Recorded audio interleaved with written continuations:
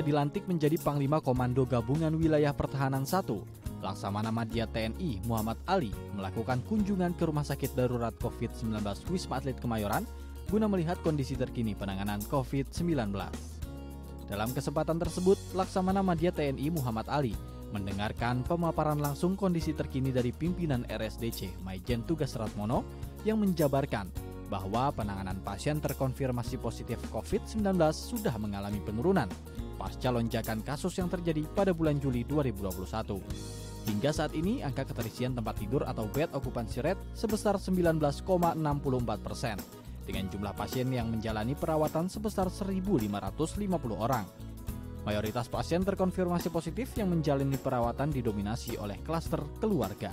Pada kesempatan tersebut, tak lupa Laksamana Madya TNI Muhammad Ali memberikan arahan terkait penanganan COVID-19, serta untuk tetap bersiaga mengantisipasi potensi-potensi lonjakan kasus yang disebabkan oleh varian baru COVID-19. Saya pada tanggal 10 Agustus kemarin baru saja dilantik sebagai Pangkoga Pilihan 1 oleh Panglima TNI, eh, di mana beliau menyampaikan bahwa eh, perlu memeriksa kesiapan dan situasi kondisi update-nya di Wisma Atlet ini. Dan juga selain di Wisma Atlet di Pulau Galang.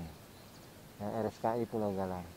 Nah setelah saya meninjau bersama Kapuskes TNI di sini eh, kondisinya sangat baik dan Alhamdulillah pada saat ini eh, kondisi pasien menurun. Jadi menurunnya cukup drastis.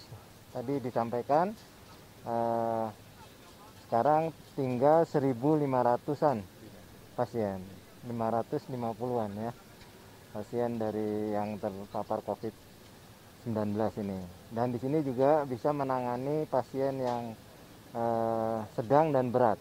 Ya. Yang di ICU juga tinggal 12 orang. Selain itu, Laksamana Madya TNI Muhammad Ali juga meninjau langsung sarana dan prasarana yang tersedia, seperti ruang alat pelindung diri hingga ruang farmasi.